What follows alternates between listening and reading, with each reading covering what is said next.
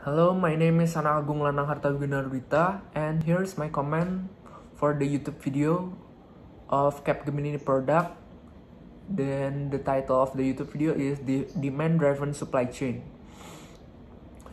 So from the video, I learned that real-time data for retailer to forecast and predict demand is the difficult thing to do because retailer have many channels to connect to the customer so maintaining supply while also predict a demand that we do simultaneously is a very difficult thing to do.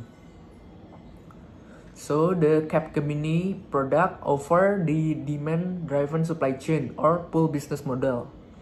They focus in consumer demand by using real-time data.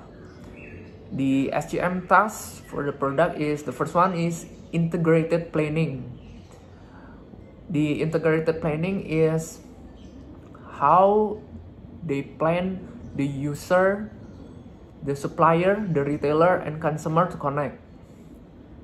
And number two is self-connected enterprise. So the between supplier and a retailer, they will know what product available, what product is sold out. And the third one, they use an SAP the SAP have four have four function. There is planning, replenishment, logistic, and supply chain management. By managing transportation, warehouse, and workforce, we can improve visibility and traceability. It is indeed an important feature for the supply chain.